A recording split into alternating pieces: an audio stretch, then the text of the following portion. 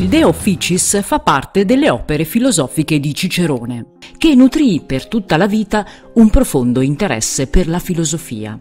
Per Cicerone la filosofia era un requisito indispensabile per l'oratore e il politico ideale.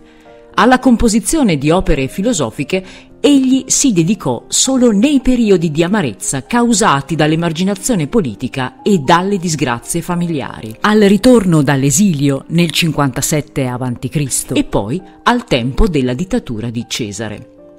Dedicandosi alla filosofia, Cicerone si prefiggeva due scopi, cercare un conforto alle disgrazie pubbliche e private e rendersi utile alla comunità anche in un periodo di forzata inattività politica attraverso la creazione di una letteratura filosofica in lingua latina.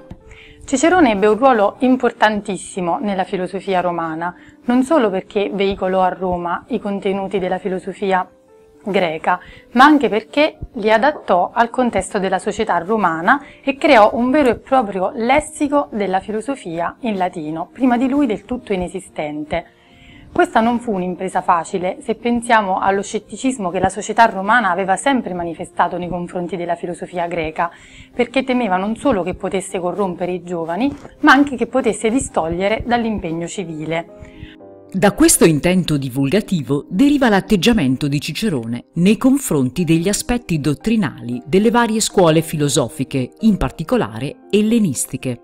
Egli si serve del metodo dossografico, Mette cioè a confronto le opinioni, in greco doxai, di diverse correnti filosofiche su determinati argomenti e problemi, per verificare se alcune siano più coerenti e probabili di altre.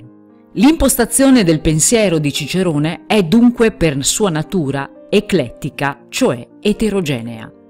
Egli non aderisce a un'unica corrente di pensiero, ma preferisce assumere nei confronti di tutte un atteggiamento disponibile e aperto, ma anche critico e indipendente. Nel campo dell'etica, tuttavia, egli si oppone drasticamente all'epicureismo, giudicato socialmente pericoloso per il materialismo e il disimpegno in politica, approvando invece lo stoicismo che si adattava meglio alle esigenze della mentalità pragmatica romana.